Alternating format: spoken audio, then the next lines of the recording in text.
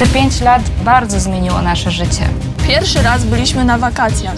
Dobrze, że nas, studentów, zwolnili z podatków. Rotowałem firmę, rotowałem miejsca pracy i takiej pomocy oczekuję. Dostaliśmy tę 13 emeryturę. Polska o nas nie zapomniała. Dzięki takim programom jak 500 odwiedzało moje ukochane Tatry. Zdecydowanie więcej rodzin. Ja tylko chcę panu podziękować za to, że rząd i pan dba o nasze dzieci, o nasze wnuczki. To wszystko trafia do naszych rodzin. Dziękujemy ślicznie. Od pięciu lat głos Polaków jest najważniejszy. Jestem i chcę być nadal prezydentem polskich spraw. To obywatele decydują, jakiej chcą Polski.